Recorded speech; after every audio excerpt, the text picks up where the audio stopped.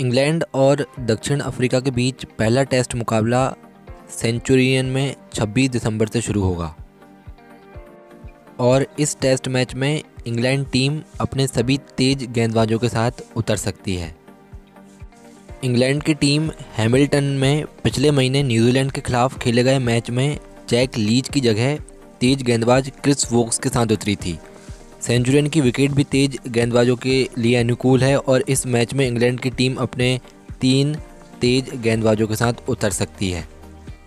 अगर बात करें दोनों टीमों की तो दक्षिण अफ्रीका की टेस्ट टीम इस प्रकार है।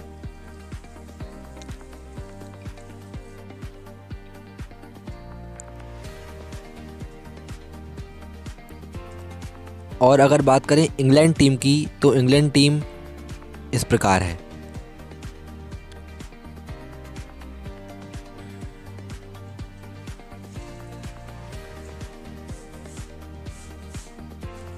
आपको बता दें, दक्षिण अफ्रीका और इंग्लैंड के बीच चार टेस्ट, तीन वनडे मुकाबले और तीन टी ट्वेंटी मैचों की सीरीज़ खेली जानी है।